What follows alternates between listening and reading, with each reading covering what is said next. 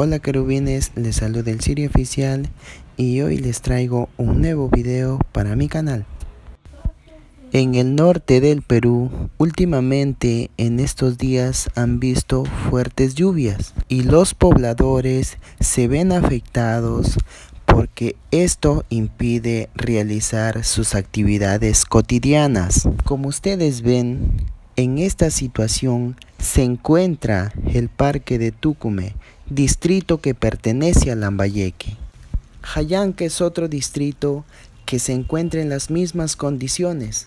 Y por otro lado, amigos, los agricultores están muy contentos ya que todos podrán preparar sus embríos.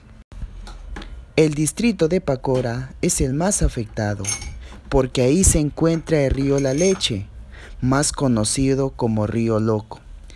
Y pueden apreciar que este río lleva bastante agua, hasta está perjudicando los sembríos y casas cercanas a él.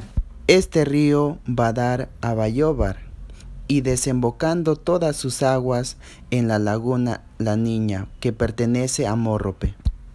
Bueno querubines, espero que este video les guste. Ayúdenme a compartir y así que las personas se suscriban más al canal. Eso me motivará a grabar mucho más contenido.